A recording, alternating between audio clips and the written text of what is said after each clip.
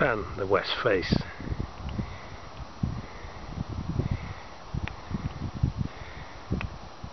To the left, Little Tryfan, Triffenbach.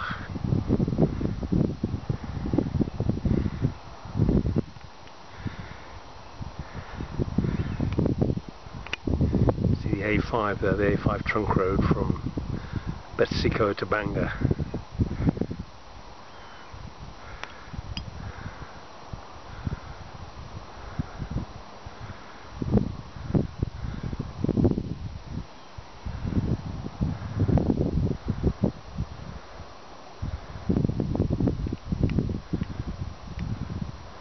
Wonderful.